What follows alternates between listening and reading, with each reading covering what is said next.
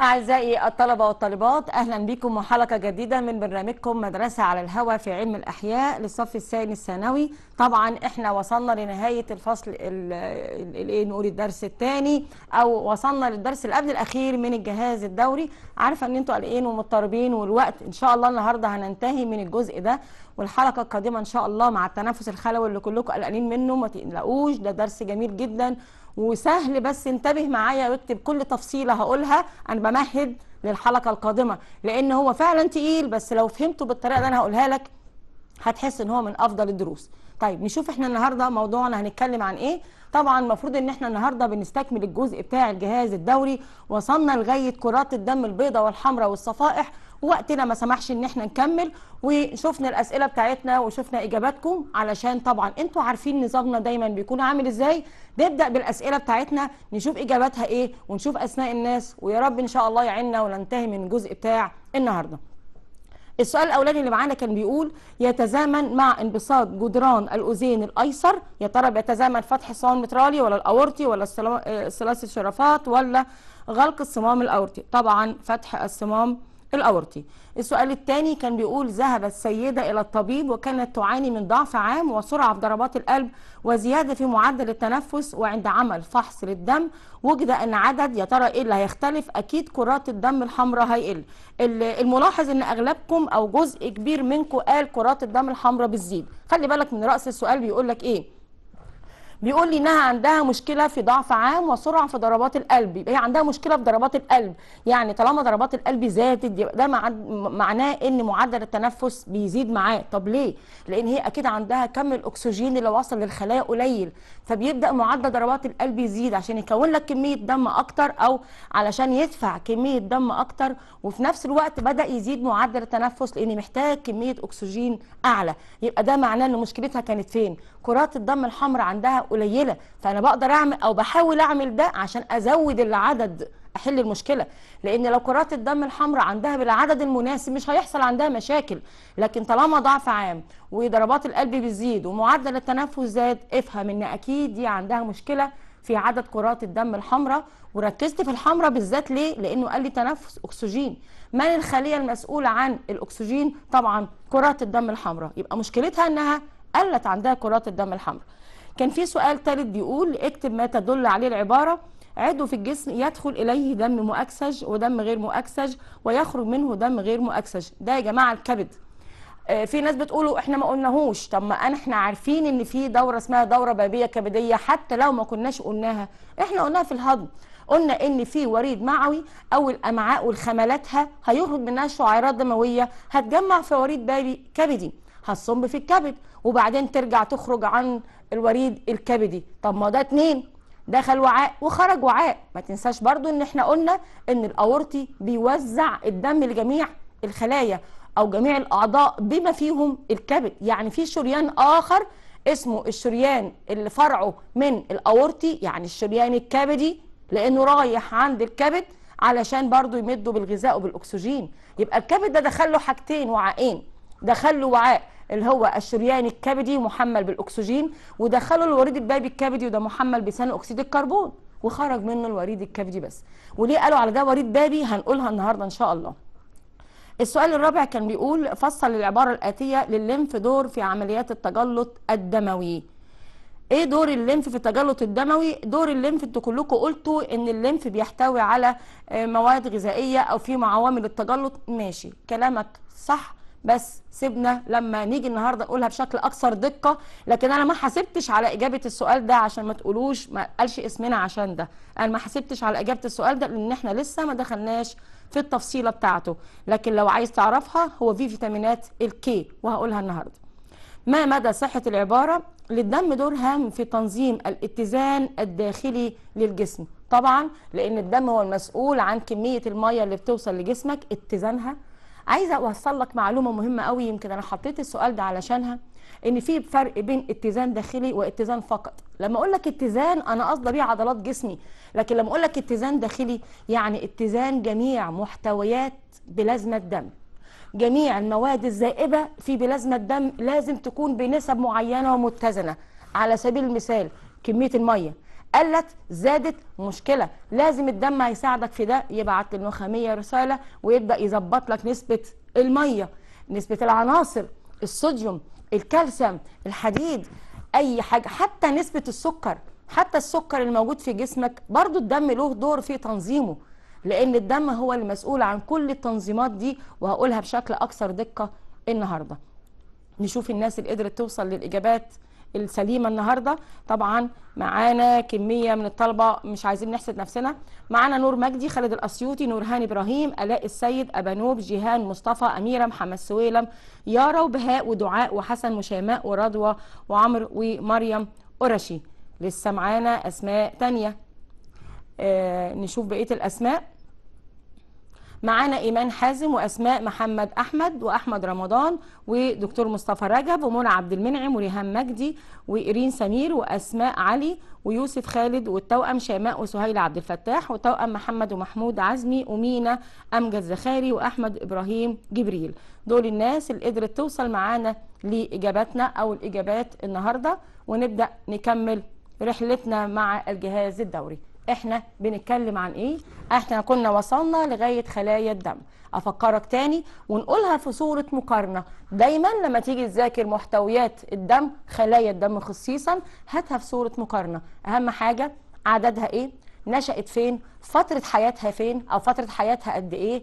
يعني هتموت بعد قد إيه؟ طب في استفادة بعد موتها أو لأ؟ طيب لما هتموت هتروح تدفن فين؟ طب وظيفتها إيه؟ نسترجع اللي إحنا قلناه بسرعة عشان نكمل عليه. كرات الدم الحمراء طبعا لونها أحمر وده بيرجع لمادة الهيموجلوبين ودي عبارة عن بروتين متحد مع حديد. هي اللي أكسبت لي الكرات دي اللون الأحمر أو أكسبت لي الدم اللون الأحمر. عددها من 4 ل 5 مليون لكل ملي متر مكعب. ده في الذكر ومن 4 ل 4 ونص في كل ملي متر مكعب. خلي بالك إحنا قلنا ملي متر ما قلتش كم الدم كله طبعا. طب كرات الدم البيضاء ترى قد إيه؟ 7000 هتقولي قليل. ده ده جهاز الدفاعي ما تقلقش رحمة ربنا بينا واسعة. لما بيزيد أو لما بيحصل أي إصابة ميكروبية هتزيد. يعني بتبدأ تزيد أثناء المرض طبعا أو الإصابة الميكروبية. طب الصفائح 250 بس.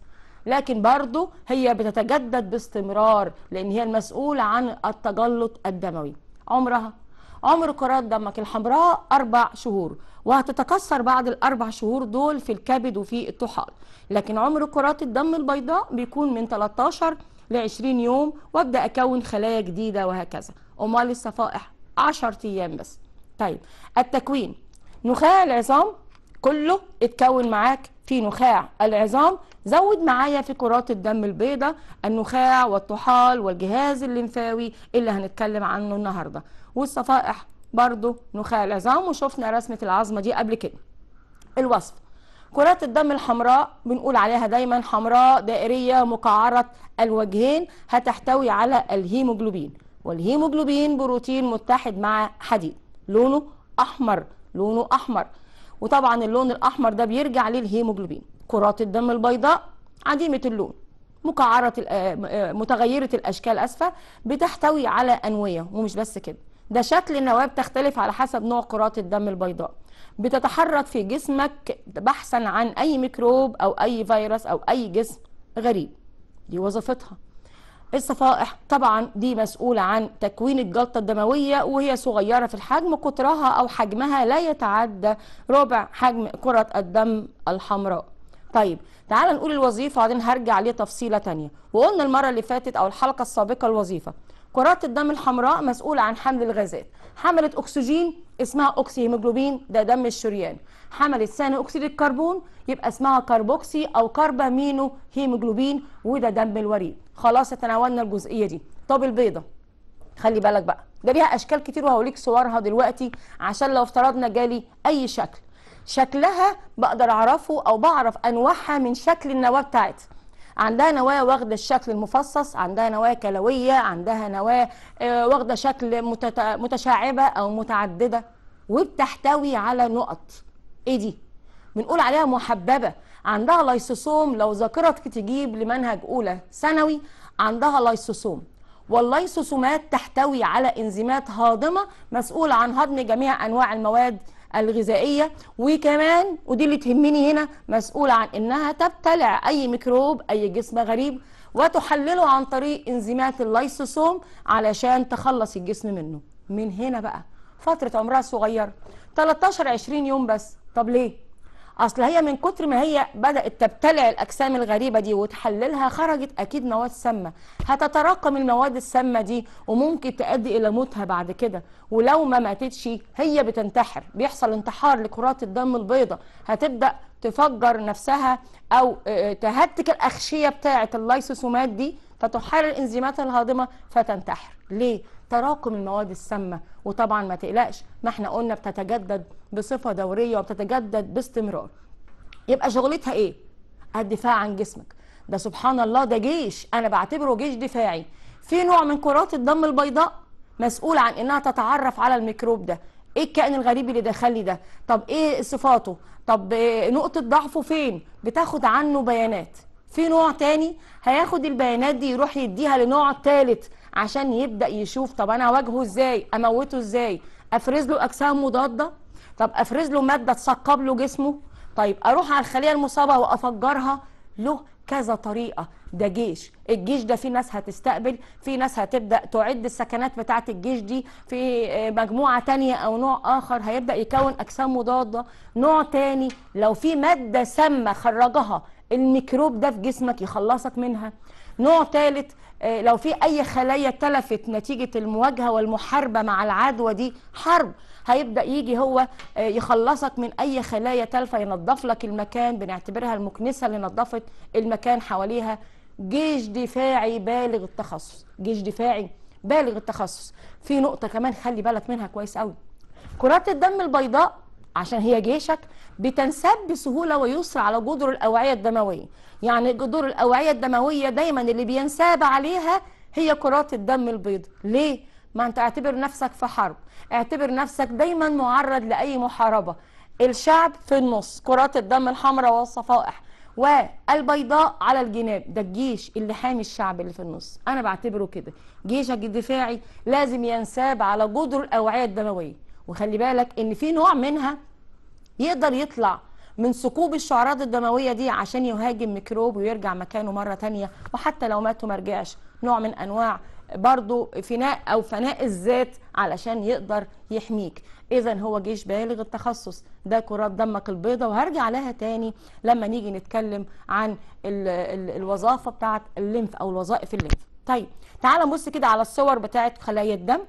دي كرات الدم الحمراء واضح طبعا شكلها جدا.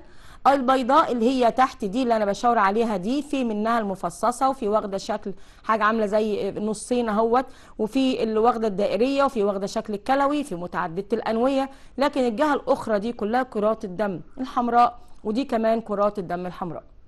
طيب هدخل على الجلط. هيحصل تجلط دموي. ركز معايا كويس قوي إيه موضوع الجلطة الدموية؟ هيحصل إزاي الجلطة؟ وإيه العوامل اللي لازم تتوفر علشان يتكون معايا الجلطة؟ أول حاجة أنا الدم بيمشي بسهولة ويسر طول ما الدم بيمشي في الأوعية الدموية من غير ما يحتك بسطح خشن أو يتعرض للهواء طول ما الدنيا تمام ومفيش أي حاجة وماشيين بسهولة ويسر افترض بقى إن حصل احتكاك للدم مع أي سطح خشن. هيجي منين السطح الخشن؟ قد يكون جرح قطعي حصل في الجلد. الدم وهو بينساب احتك بالجرح القطعي. مفيش حد فينا ما حصلوش أي جرح ما تعورتش. هتبص تلاقي نفسك خلال فترة زمنية بسيطة اتكونت قشرة. لو دققت النظر فيها هتلاقي فيها ألوان ده فيها أبيض وفيها أحمر. إيه دي؟ التجلط. الجلطة الدموية. إيه اللي حصل؟ طبعا طول ما الدم بيمشي بسهولة ويسر في الوعاء الدموي وطول ما ما تعرضش لأي سطح خشن وطول ما ما تعرضش للهواء الدم ماشي ما فيش عندي مشاكل. لكن لو حصل جرح احتك بسطح خشن وهي الخلايا التالفة. وطبعا اتعرض للهواء الجوي نتيجة حدوث هذا الثقب. هيحصل إيه؟ يبدأ يتكون عندي من الصفائح الدموية ودي شغلتها مع الخلايا التالفة المحطمة دي مادة أولية اسمها الثرومبوبلاستين. الثرومبوبلاستين. ده إنزيم مادة بروتينية. تعمل تعمل كعامل حفاز نشوف أحمد من كفر الشيخ وبعدين نرجع للتجلط. أيوه يا أحمد؟ السلام عليكم. وعليكم السلام يا أحمد. أخبارك؟ تمام والله الحمد لله. طمني على الأخبار الأحياء إيه؟ تمام الحمد لله. عندك سؤال يا أحمد؟ آه بس كان في سؤال كده أنا السؤال ده أنا اللي عملته بس أنا كنت أنت اللي عملته؟ ده أنت عبقري بقى. فكنت بس عايز أشوف طب. آه إيه الأخطاء مثلا اللي فيه والإجابة برضه إيه الخطأ اللي فيها وكده يعني. يعني أنت حطيت السؤال بإجابته وعايز تشوف وضع السؤال صح بإجابته ولا لأ؟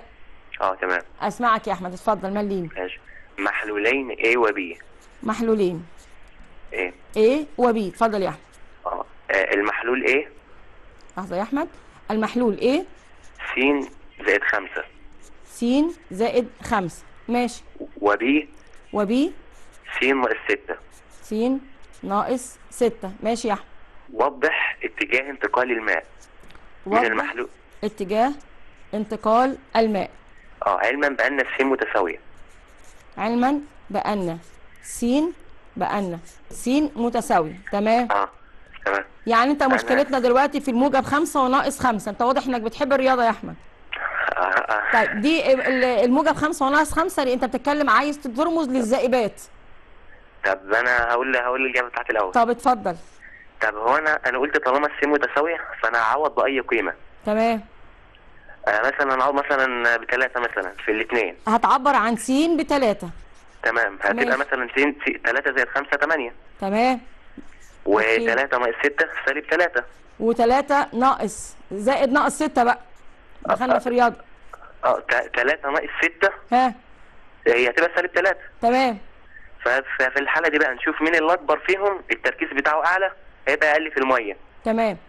يعني هنا المفروض إن تركيزنا هنا هيكون أعلى. تمام. يبقى ده أقل في المية. آه. طيب يبقى أنت كان لازم تقول علما بأن س دي كذا. يعني عشان نزود تقول لا لي س- ماني هم. ما أنا ما أنا أقصد إن أنا أنا قلت السن بتس... أنا قلت السن مت... متساوية علشان يبقى علشان مش موجودة معانا. قيمة. تمام. آه. ماشي. تمام. ماشي, ماشي. بس okay. هو ده السؤال وده يبقى. المية هتنتقل المفروض أنت عايز تنقل الميه من التركيز؟ اللي هو اللي بتنتقل من التركيز الأقل للتركيز الأعلى. تمام. تمام. تمام. حلو يا أحمد صدقني. فكرك حلو. كون إن تمام. أنت بدأت تفكر إن أنت اللي تحط السؤال حلو جدا. مفيش مشاكل. لا فكر جميل. طب أنت عندك أي سؤال واقف يا أحمد؟ لا هو ده بس كان. لا لا بس فكر صدقني جميل. وكل ما تفكر لنا وتخترع لنا سؤال زي كده برضو نقوله للناس مفيش مشاكل. إحنا بنستفيد من بعض. إحنا عارفين تمام. طبعا يا أحمد إن إحنا ما بنرتبطش بأسئلة كتب خارجية هنا لأن الأسئلة هتجيلك بتقيس مستويات عليا. فممكن هو مش يجي سؤال- اي حاجة. هو لا هو ما جبتوش من كتاب والله يعني بس لا ما أنا عارفة. آه، أنا عارفة إن. أنت الكتاب السؤال ده جاي من دماغك أنت مش من كتاب. حلو إن أنت. بدأت تفكر إن أنت اللي تضع السؤال وتجاوبه و... و... وتعرضه علينا ونشوف هل ممكن نزود حاجة ولا صياغته حلوة ولا لا. صياغته. كويسة جدا يا أحمد. استمر. وإحنا معاك وكل ما تفكر في حاجة زي كده بلغنا. إحنا معاك. إن شاء الله خلاص. ماشي يا أحمد نورتنا. شكرا شكرا. العفو يا أحمد. العفو.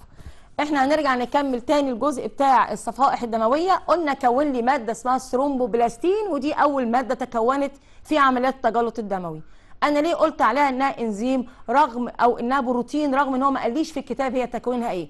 أصلها بتعمل كعامل حفاز ما شطارتك إنك تلقط ما بين السطور. ثرومبوبلاستين دي تعتبر عامل حفاز ودي اللي أنا عايزة أوصل لها بقى. عملت إيه؟ ده ساعدت العامل الحفاز ده على تحويل البرو ثرومبين إلى ثرومبين طيب خليك معايا بقى. إيه البرو ثرومبين ده؟ ده أنا هكون أو عندي مادة اسمها البرو ثرومبين هحولها إلى ثرومبين تمام؟ ما هو البروثرومبين البروثرومبين بروتين بيكونه الكبد. خدت بالك إن الكبد له دور في كل حاجة؟ البروثرومبين بيكونه الكبد في وجود فيتامينات ال K. خلي بالك ده فيتامين وليس عنصر ده فيتامين ال K عشان يحوله لي إلى ثرومبين وده في وجود عامل حفاز وهو الثرومبوبلاستين طيب مين البروثرومبين ده؟ البروثرومبين ده مادة مهمة جدا نشوف محمد من الغربية ونرجع تاني للبروثرومبين محمد؟ أيوه Miss أمل. أيوه محمد معانا؟ أيوه Miss إحنا التوأم محمد؟ أيوه محمد. ومين؟ محمد ومحمود. محمد ومحمود. أهلا بكم يا محمد. منورين الحلقة ومنورين القناة. بنور حضرتك يا مس والله. ربنا يخليك يا محمد. إزيك أه. وأخبار الأحياء إيه معاك؟ كويس والله الحمد لله. عندك أي سؤال يا محمد؟ لا كان عندي بس تعليق بسيط كده كنت عايز أقول اتفضل. آه لو نعرف بس نزود وقت الحلقة لأن الوقت بيبقى قليل جدا والاتصالات بتضيع الوقت فلو نزودها بس أو نشغل بس المباشر على اليوتيوب ونخلي الأسئلة اللي بتنزل مباشر الله لأن يعلمك لأن الحلقة بتنزل متأخرة. صح الحلقة بتنزل بعد ساعتين ثلاثة وانتوا آه. في الوقت ده بتبقوا في المدرسة للأسف. أيوه بنكون في المدرسة ولو لو البث المباشر بس شغال شغال على اليوتيوب نقدر نتصل والأسئلة تتحل في الحلقة. ربنا يكرمك يا محمد. على العموم إن القناة وإدارة القناة سمع كلامك دلوقتي ويا رب أنا برفع أنا بضم صوتي معاك مع محمد ومحمود. أنا بضم صوتي معاك. ويا رب القناة يكون عندها المساحة اللي تقدر تديها لنا زيادة علشان نلحق نخلص ونشوف أسئلتكم برضه. هو المشكلة إن إحنا مش قادرين نقول مفيش تليفونات لأن الناس بتزعل لما التليفونات بتقل. ومش. قادرين نقول آه طب تليفونات طب ما بنلحقش نخلص فإحنا بين نارين بس إن شاء الله إدارة القناة تقدر تساعدنا في المشكلة دي يا محمد. أنا متشكرة ليك جدا. أنا- شكرا. عندك أي سؤال يا محمد؟ لا والله مش طب دلوقتي. سلم لي على محمود بقى. الله يسلمك هو سامعك دلوقتي. ماشي يا محمد ميرسي لذوقك ميرسي لذوقك. آه نرجع تاني لموضوعنا وصلنا للبروثرومبين اللي بقى ثرومبين السؤال بقى اللي أنتوا كان في الحلقة أو كان في أسئلة الحلقة وأغلبكم قلتوا لأن ال- الليمف فيه عوامل التجلط. لا. بص بقى أنا عايزة أقول إيه. أنا اعتبرتها صح على أساس إن إحنا كنا لسه ما وصلناش للجزئية دي. ارجع لي بقى ودي أهم حاجة نقدر نقول نوصل لها النهارده. البروثرومبين بروتين بيكونه الكبد. في وجود فيتامينات ال K فيتامين ال K كان مكانه فين؟ ركزوا كده معايا. فيتامين ال K كان الليمف له دور فيه. ارجع كده للتغذية. ما أنا كنت بالسؤال ده بربط لك التغذية مع النقل. ارجع للتغذية. كان عندك مسلك دموي ومسلك ليمفاوي في الخملات من الذي كان يسلك المسلك الليمفاوي؟ كان عندي الأحماض الدهنية والجليسرين والفيتامينات الزائدة فيها الاي والدي والاي والكي أهو ال K أهو. يبقى فيتامين ال K بص بقى الحتة دي. فيتامين ال K نقله لك الليمف. وعاء لبني وعاء لمفاوي. دخلنا على الوريد الاجوف العلوي في القلب. الاذين الأيمن. اذين أيمن وداه لبطين أيمن. ماشي معايا في الترتيب. رحنا للشريان الرئوي. اتنقى وغسلنا وخدنا أكسجين. رجعنا أوردة رئوية. أنا لسه ما قلتش دوره إيه. رجعنا أوردة رئوية. اذين أيسر بطين أيسر. شريان الأورطة. أو الأبهر لف راح لجميع أنحاء الجسم بما فيهم الشريان الكبدي اللي وصل فيتامين ال K خدوا الكبد كون بروثرومبين اتقابل مع ثرومبوبلاستين كون لي أو كان له دور في الجلطه يبقى ده اللي أنا كنت قصداه من السؤال وما حاسبتش عليه لأن أنا كنت لسه ما قلتوش. وسامحوني في دي الوقت بيبقى ضيق. يبقى أنا فهمت فيتامين ال K هنا عمل إيه؟ أو الليمف كان دوره إيه في التجلط؟ مش علشان نفس المحتويات والكلام ده لأ. الليمف عامل على نقل فيتامينات ال K وبالتالي فيتامين ال K بيستخدمه الكبد في تصنيع البروثرومبين كونا البروثرومبين بفيتامين ال K وتحول إلى ثرومبين نتيجة وجود الثرومبوبلاستين. بعد كده ده برضو الثرومبين يعتبر إنزيم مادة بروتينية. كل خطوة بتسمع للي وراه علشان ده يساعدني على تحويل الفبرينوجين إلى فبرين ما هو الفبرينوجين كان ضمن السبعة في المية البروتينات الذائبة في بلازما الدم. تحولت إلى فبرين خلاص كده القصة خلصت معايا. والفبرين بروتين غير ذائب يبدأ يترسب ولما يترسب يوقف النزف وده مهم جدا. ليه؟ تخيل أنت لما يحصل جرح والدم يقل. هتقول لي يعني مشكلتنا إن الدم قل؟ لا المشكلة مش في الدم قل المشكلة إن ضغط الدم قل. ولما ضغط الدم هيقل ده هيسمع معاك في القلب لأن القلب مش هيقدر يضخ كم من الدم اللي أنا محتاجاه للمخ ومحتاجاه للأطراف. يبقى مش مشكلتي في كمية الدم اللي أنا فقدتها قد ما أنا مشكلتي في ضغط الدم اللي جوه الأوعية الدموية. برضو كان مهم إن أنت تلاحظ التفصيلة دي. يبقى كده كونا الجلطة الدموية أو التجلط الدموي. طيب سؤال. الخطوات بتاعتنا واضحة أهي بقى. واسمع السؤال وأنت بتراجع معايا الخطوات. طب ما الدهون الموجودة على جدران الأوعية الدموية ممكن تمثل لي سطح خشن. ليه ما بيحصلش تجلط؟ على فكرة وارد وارد إنه يحصل. لكن في الطبيعي مع كبر السن طبعا وارد لكن في الطبيعي ما بيحصلش. ليه؟ أو المفروض ما يحصلش. ما هو ربنا إحنا قلنا إيه؟ كل ما تتغوط في العلم كل ما تدرس الأحياء أكتر كل ما هتشوف قدرة ربنا قد إيه كبيرة. ليه؟ أكيد ربنا واضح حل النقطه دي. الكبد برضو الكبد آه ده أنا ممكن لما نخلص إن شاء الله أقول لك إيه اللي إيه دور الكبد في التنفس وفي التغذية وفي النقل وفي كل حتة. الكبد. بجانب إن هو كون لك أو افرز لك البروثرومبين كمان كون مادة أخرى اسمها الهيبارين. يبقى الكبد سبحان الله عمل لك اتنين عكس بعض موجب واحد سالب واحد بلغة الأرقام بقى زي زميلنا أحمد ما كان بيتكلم. يعني ادالك الكلمة وعكسها. ده كون لي البروثرومبين عشان يعمل الجلطة وقام مسلسلهولك ورابطهولك بالهيبرين عشان يمنع تكون الجلطة. طول ما الدم بيمشي في الأوعية الدموية طول ما الهيبرين موجود مرافق للبروثرومبين مش هيتحول إلى ثرومبين فما فيش جلطة هتحصل. هتقول لي الله طب ما أنا لما اتعورت ما الدم فيه البروثرومبين وفيه الهيبرين حصل لي الجلطه مش مذكورة بس أنا هقولها لك.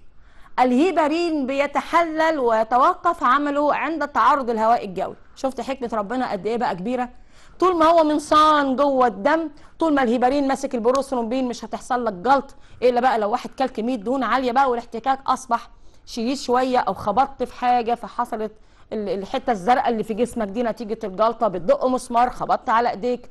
أنت عرضت الجسم لخبطة لاحتكاك شديد. لكن الجلطه اللي تحصل وانت اوعيتك ونظام اكلك مظبوط وكمية دهونك مظبوطة مش هتحصل. لأن الهيبارين رابطهولك. خدت من كلامي إيه؟ بلاش أكل دهون كتير في إيه أكلنا. الدهون تترسب على جدر الأوعية الدموية بتضيقها لي وقد يمثل سطح خشن يساعدنا على إحداث الجلطة الدموية. طيب طول ما الدم بيمشي مع البروثرومبين والهيبرين مفيش جلطة هتتم لأن الهيبرين ماسك لك البروثرومبين بعتبره مسلسله لكن أول ما أنت اتعورت والهواء الدم تعرض الهواء الجوي يتحلل الهيبرين ما عادش له دور. يبدأ البروثرومبين يصحى بقى. الثرومبوبلاستين يجي له يقوم مكون الثرومبين يروح على الفيبرين وده موجود في بلازما الدم يكون الفيبرين يسد مكان الجرح. واتفقنا أساسنا إيه في القصة دي؟ إن أنا مش عايزة يفضل نزف للدم حفاظا على ضغط الدم. وأكيد كميته لو كان الجرح غائر برضه. تعال بص معايا على الصور دي. هتوضح لك الشكل بتاع الجلطة الدموية خيوط الفبرين البروتينية الغير زائبة. يا ريت نشوف الصورة مع بعض. خيوط الفبرين البروتينية الغير زائبة اللي هيبدأ يترسب فيها ويتجلط فيها الدم. يبقى كده أنا كونت الجلطة الدموية. لسنا إيه؟ الضغط. الضغط الدموي علشان ندخل بقى على الدورات. الضغط الدموي. قلناه. الضغط الدموي أعلى معدل للضغط الدموي بيكون في الشرايين القريبة من القلب. ليه؟ ارجع تاني كده للرسمة بتاعة القلب. طبعا مش عايزين نرسمها تاني عشان ما نضيعش وقت بس خليك معايا نفتكرها مع بعض وهنجيبها معانا على اللاب. ال ال ال الدم طبعا إحنا عارفين إن أنا عندي الحجرات والدم المؤكسج خارج من البطين الأيسر. حصل إيه في البطين الأيسر؟ جدار البطين الأيسر أكثر سمكا من البطين الأيمن. علل. أصله بيدفع الدم لجميع أنحاء الجسم. طب هدفع من الجدران؟ أكيد بس بيكون الضغط أزيد شوية تحت. في الجدار من أسفل. ليه؟ تخيل نفسك أنت عندك مثلا أنبوبة معجون أو أنبوبة كريم. الأفضل إيه؟ إنك تضغط على الكريم من المنتصف هتطلع اللي أنت عايزه بس. لكن لو أنا عايزه أفرغ الأنبوبة ديت من الكريم كله هتيجي من تحت وتقعد إيه؟ تضغط من تحت عشان الضغط تطلع لك الكريم. ده اللي أنا عايزه أقوله. دايما بيكون الضغط الدموي أعلى جدا في الشريان القريب من القلب والدفعة بتكون جاية من البطين من أسفل البطين. عشان أنا عايزة قوة دفع كبيرة عايزة أخرج كل الدم المؤكسج إلى الخارج. طيب تمام. يبقى أعلى معدل ضغط الدم هيكون فين؟ في الشرايين اللي خارجة من القلب الرئوي والاورطي بس الرئوي عشان أساسا الرئتين قريب مني فمش هحس بيها وضغطه بيكون أقل من الاورطي لكن الاورطي أعلى ضغط للدم. ويبدأ الدم بقى بينتقل أهو يقل يقل يقل يقل قوة الدفع قوة الضغط. تخيل نفسك جايب بالونة حاطط فيها ماء ملون ومطلع منها خرطوم طويل. اضغط على البالونه من تحت طبعا الماء الملون هيبدأ يندفع. هل ضغط الماء وهو طالع الملون ده في بداية البالونة زي نهايتها؟ أكيد لأ. أكيد الضغط في النهاية كان أقل لكن كل ما قربت من البالونة كل ما كان الضغط عالي. كل ما قربت من مضختك من القلب كل ما كان الضغط عالي. يبقى أعلى ضغط للدم بيكون فين؟ مبدئيا في الشريان. لو خيرتك طب أقيسه منين؟ من الدراع ولا من رجلي؟ أكيد من الدراع. طب أيمن ولا أيسر؟ أيسر لأن أنا عارفة إن القلب بيميل قليلا إلى اليسار. طب ينفع من هنا من عند الرزغ؟ من هنا؟ لا بقيسه من هنا. ليه؟ أعلى ضغط للدم بيكون في القريب من القلب. وإيه كمان؟ تلاحظ الدكتور بيقوم عامل إيدك كده. ليه؟ أنا عايز يكون إيه؟ بمحاذاة ومساواة القلب. بعمل كده علشان أركز أنا على الضغط هنا. إيه اللي بيحصل؟ طيب تعال شوف إيه اللي بيحصل. طبعا هبدأ أعمل إيه؟ أنا بس عايزاك تبص على صورة الجلطة تاني ونبدأ ده طبعا صورة الفبرين والجلطة الدموية. تعالى بقى نشوف خلاص إحنا بنتكلم عن الضغط الدموي. هيقل الضغط تدريجي كلما ابتعدنا عن الشرايين لغاية ما يكون أدنى ضغط للدم في الشعيرات الدقيقة والأوردة وده مش هيتعدى 10 ملم زئبق. طيب يعني قل قوي قوي قوي في النهاية في الشعيرة الدموية. عايز أرجعه تاني. علشان يرجع الدم تاني في الأوردة. وخلي بالك إن الشريان ماشي مع اتجاه الجاذبية الأرضية والوريد عكسه. طب ما دي مشكلة هتقابلني. يبقى أنا ماشي عكس اتجاه ال- ال- الجاذبية وفي نفس الوقت الوريد ما عندوش الوريد غير نابض. الشريان بس هو اللي نابض. هعتمد حركته على إيه؟ على حاجتين. العضلات اللي محيطة بالوريد والصمامات اللي موجودة في الوريد. هقيس بجهاز الضغط الزئبقي. بيكون طبعا معدلنا الطبيعي من 120 ل 80 للشخص العادي. ال 120 بيدل على ضغط الدم الانقباضي وال 80 هيدل على ضغط الدم الانبساطي. تمام؟ لغاية كده. وهرجع لك تاني. تعال بص لجهاز الضغط. هبدأ أشوف جهاز الضغط عبارة عن إيه. جهاز الضغط بتلاقي فيه أنبوبة كده جهاز قدام الدكتور. الجهاز ده فيه مادة أو فيه الزئبق. من وراه واضح معاك أهو فيه تدريج. وفي حاجة هنا اهي قماشه اهو بيربطها على دراعك وفي منها أو في خارج منها حاجة عاملة زي المنفاخ بيضغط أو بينفخ بيها. وطبعا السماعة بتاعه الدكتور معانا وفي أكيد مقياس رقمي. أعمل إيه؟ تعالى كده مشرحها على نفسي أنا هعمل إيه؟ أنا عايزة اقيس ضغط الدم.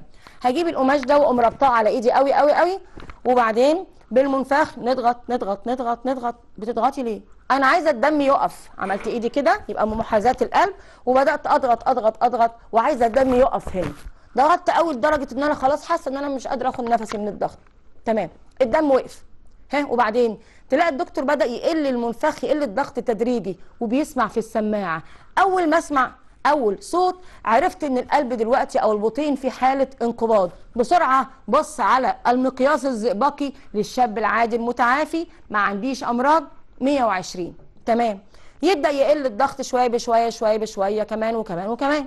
وبعدين سامع الصوت. أنا لسه سامع الصوت. أنا لسه سامع الصوت. لغاية ما يبدأ الصوت أول ما الصوت يختفي عرفت إن أنا هنا ضغط الدم الانبساطي. وقف بسرعة بص على القراءة جبت ال 80 يبقى 120 على 80 إيه الصوت اللي سمعه؟ قلت صوت انقباضي يعني الصوت الغليظ الطويل يعني البطين منقبض يعني دلوقتي الصمامات الثلاثي والمترالي بيغلق فسمعت أنا الصوت.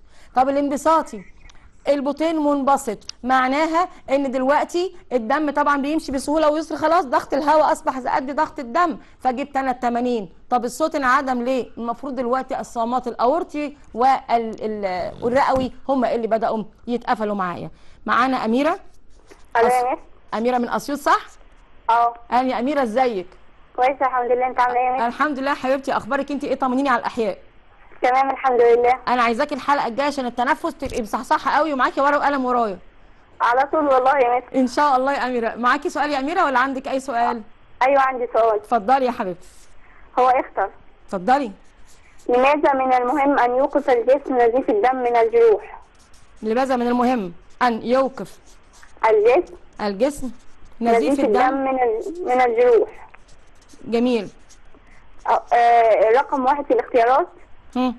اتفضلي يمكن يمكن أن يمنع نزيف الدم الجهاز الليمفاوي من توصيل مواد كالأكسجين إلى جميع أجزاء الجسم.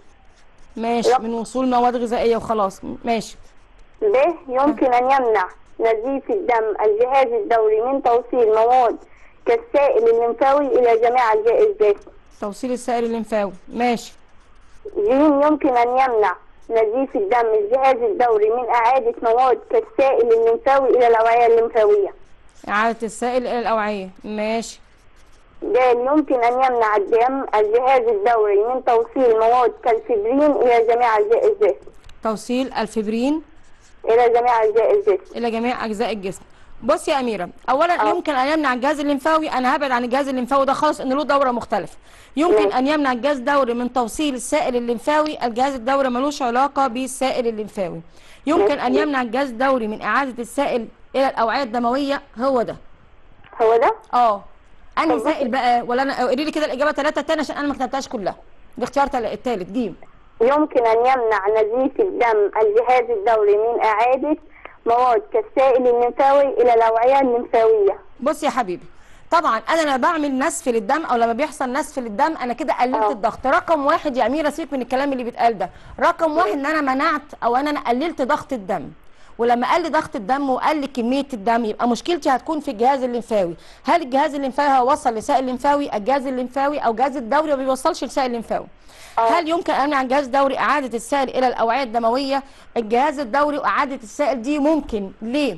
لأن لما أجي لك عند الجهاز الدوري دلوقتي الليمف أساسا بياخد المادة بتاعته من الجهاز الدوري. يعني الليمف خد من الدم ورجع للدم تاني. فاللي اتأثر معايا إن كمية الدم اللي هتروح للشعرات الدمويه هتبقى قليله. بصي ما هو الليمف؟ إحنا هنقوله النهارده. الليمف آه. السائل يترشح من بلازما الدم. الدم آه. لما يوصل للاوعيه بيوصل غذاء. جزء كبير من الدم بيرجع تاني في الاورده وفي جزء بيفضل معايا في الانسجه. الليمف دوره يلم السائل ده ويرجعه لي تاني. فلما يكون الضغط قليل قوي نتيجة إن حصل جرح يبقى الضغط الدم في الشعيرات الدموية هيكون قليل. فبالتالي آه. مش هيوصل الغذاء للأنسجة بالكم الكافي وبالتالي الليمف مش هيقدر يصب الكلام ده ويلمه تاني يرجعه للقلب. يبقى أكثر إجابات دقة هي الجيم. الرقم تاني. آه. أكثر إجابات دقة. وطبعا لو ركزتي معايا النهارده هرجع للحتة بتاعه الليمف دي تاني وكويس إنك خليتينا قلناها بالمرة. ماشي عندك سؤال تاني يا أميرة؟ أي هو سؤال آه، هي صاحبة الإجابة كانت بس أنا عايزة أتأكد برضه طب قولي في- قولي إجابتك إيه وأنا أقول لك صح ولا غلط بس بسرعة بسرعة عشان نلحق نخلص درسنا. اتفضلي. الدو... هي- هو سؤال اختر برضه. الدورة الدموية الرئوية بالنسبة للدورة الجهازية هي؟ الموضوع الكلب. ده السؤال ده معرفش مين أنا وصلني السؤال ده. آه آه، رجلي هي- كرسي وايه الكلام آه. الغريب ده. هو أنا شفت على التابلت.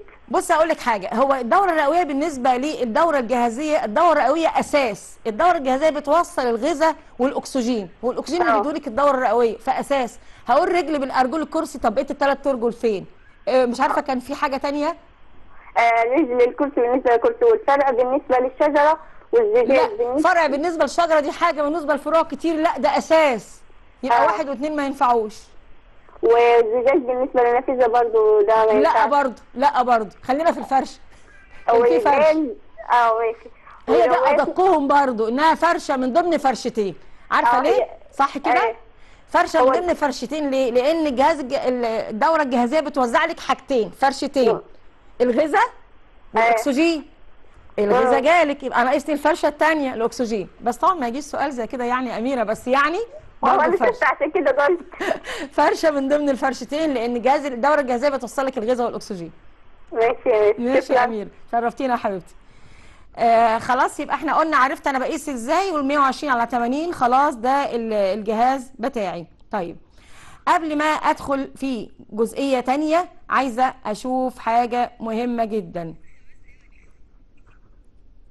طيب آه مش هعرف أقول الحاجة المهمة دي بس إيه علشان ما عادش معانا فعلا غير خمس دقايق ونختم. ودي طبعا دي مشكلة كبيرة. كان في فيديو أكتر من رائع كان نفسي تشوفوه. أنا هعدي عليه بسرعة مش هقدر اوريه لك كله. هعدي عليه بسرعة لأن هو فعلا خسارة إن إحنا ما نشوفوش. الفيديو بيتكلم عن ضربات القلب وبيتكلم عن الدورة. أنا بس عايزة أوصل لك حتة مهمة قوي. إيه اللي بيحصل بالظبط؟ الشرايين بتبدأ تدفع الدم لجميع أنحاء الجسم أهو عشان أغذي الأعضاء واتخلص من النفايات. وبالمرة خد منها الدورات. عندي ثلاث الأوعية اللي إحنا عارفينهم. خلاص بتكلم عن ضربات القلب اللي معايا. بص بص دي اللي أنا كنت عايزاك توصل لي ليها إن الدم بدأ يوزع الشريان بيوزع أهو. بص رجعت بالأزرق. يبقى الشريان بتوزع وارجع بالازرق عشان يرجع للقلب مرة تانية عشان دي ليها علاقة باللي إحنا بنتكلمه أو هنتكلم عنه النهارده. طيب إحنا كده خلاص ما عادش معايا غير الدورات الدموية. وأنا الدورات الدموية عندي ثلاث دورات وأنا قلتهم وإحنا بنشرح قبل كده. عندي دورة رئوية وعندي دورة جهازيه الدورة الرئوية أهم حاجة في الدورة اعرف بتبدا فين وبتنهي فين وهدفها إيه. الرئوية بادئه من البطين الأيمن وناهيه عند الاذين الأيسر. هدفها ان أنا بنقي أو ان أنا بحصل على الأكسجين. هينقبض البطين الأيمن هيندفع الدم. طبعا بعد غلق الصمام ثلاثي الشرفات هيندفع عبر الشريان الرئوي هيروح للرئتين هيحصل تبادل ال- الغازات ويرجع تاني أو يرجع الرئوية أربعة إلى الاذين الأيسر. كده الدورة دي انتهت. هدفي ان أنا اخد الأكسجين. على رأي أميرة بقى دي الفرشة الأولى. بعد كده ادخل على الدورة الجهازيه هبدأ من بطين أيسر عشان أنا عايزة أوزع لانحاء الجسم. بطين أيسر هيتقفل المترالي يندفع الدم عبر الاورطي يتوزع إلى جميع أنحاء الجسم علشان يوزع الغذاء والأكسجين. في تلاقي شعيرات دموية هنا. هسيب الأكسجين والغذاء وأرجع محمل بالفضلات وثاني أكسيد الكربون عشان أرجع للقلب مرة أخرى عبر الأوردة وأنت شفتها بالفيديو وريد أجوف علوي وريد أجوف سفلي. دخلت على القلب في الأذين. يبقى بدأت بطين أيمن. نهيت بالأذين بدأت أسفة بطين أيسر نهيت بالأذين الأيمن. في دورة اسمها الدورة البابية الكبدية إحنا خدناها في الجهاز الهضمي. هتكلم عن الكبد هتكلم عن الوريد البابي الكبدي. ليه سموه بابي كبدي؟ أصله بدأ شعيرات ونهى شعيرات. ده الوريد البابي الكبدي. بدأ بشعيرات في الخملات ونهى بشعيرات جوه الكبد. أصله خارج من الأمعاء عشان يوصل لي المواد الغذائية. طب وبعدين؟ هيحصل شوية تحولات جوه الكبد هنبقى نجيبها في صورة أسئلة. يطلع وريد كبدي. ما تنساش إن الكبد داخل له كمان الشريان. ده بالنسبة للدورة الكبدية. دخلنا بعد كده على الجهاز الليمفاوي. جهازك المناعي الجهاز الدفاعي في الجسم هو اللي بيقدر ينتج الأجسام المضادة المسؤول عن اكساب جسمك المناعة بتاعته. جهازك الليمفاوي عبارة عن أوعية ليمفاوية وعقد ليمفاوية سائل قلت الأميرة حالا سائل بيترشح من بلازما الدم. يعني السائل ده أنا هاخده من الدم وأعيده للدم مرة أخرى. ده بيحصل فين؟ أكيد في الشعيرات لأن هي ذات جدر رقيقة. يبقى في الشعيرات الدموية عندي جدر رقيقة هيبدأ يحصل إن الشعيرات الدموية تفقد السوائل اللي فيها الغذاء والأكسجين علشان توصله لي للأنسجة عشان يحصل تبادل أو يحصل الاحتراق الخلوي إن شاء الله الأسبوع الجاي هنشتغل عليه. وجزء منه كبير بيرجع للشعيرة والباقي الليمف يعمل على إعادته مرة تانية. الليمف أو السائل ده عبارة عن البلازما محتويات البلازما فيها نفس محتويات البلازما يمكن البروتين 50% فيها صفائح دموية على فكرة وفيها كمان كرات دم بيضاء وبكميات كبيرة. ينتج ويخزن كرات الدم البيضاء. عندي أعضاء لمفاويه دي كتايب الجيش اللي موجودة في مناطق في جسمك. هتلاقيها موجودة عندك تحت أو في منطقة العنق تحت الابطين في بجوار الاحشاء الداخلية أعلى الفخذ. مسؤولة عن إيه؟ مسؤولة إنها تنقي وتصفي الليمف. بعتبرها مصفى. مصفى هتلقي الليمف من أي ميكروبات أو فيروسات لأنها مخزن فيها كرات دم بيضاء وبكميات هائلة جدا. طبعا يبقى أنا الجهاز بتاعي عقد لمفاويه والطحال أكبر عقدة لمفاويه كتايب الجيش اللي فيها كرات الدم البيضاء اللي هتكون الأجسام المضادة. أوعية لمفاويه هيمر فيها الليمف والليمف نفسه سائل لونه شفاف يميل إلى الصفرة شوية. ده بيكون عبارة عن تركيب البلازما زائد كرات الدم البيضاء وقد يكون في بعض الصفائح وكمية البروتين. بسرعة بسرعة نشوف أسئلتنا اللي إحنا هتحلها لنا المرة الجاية. وإحنا كده يعتبر خلصنا الجزء اللي إحنا كنا عاوزين نخلصه. كم عدد صمامات القلب اللي يمك... التي يمر خلالها الدم؟ عند حركتها من المخ إلى الرئتين. هل يا ترى 2 4 6 8 ركز في الأسئلة. الأسئلة المرة دي أشد شوية. السؤال الثاني بيقول خلية دم حمراء انتقلت من اليد اليمنى لشخص وصلت إلى رجله اليمنى. خلي بالك الاثنين يمنى. فيجب على الخلية دي أن تمر عبر الراس الرئتين الأمعاء الدقيقة الكبد. السؤال الثالث بيقول حقنت مادة مرة حقنت مادة مرة لوريد أحمد. بعد مرور عدة ثواني أحس أحمد بطعم مر في الفم.